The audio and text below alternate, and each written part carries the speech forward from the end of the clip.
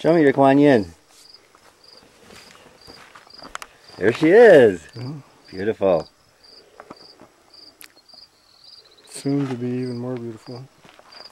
Kwan Yin and the dragon. Just got the work done. It's still feeling a little bit. There's the dragon.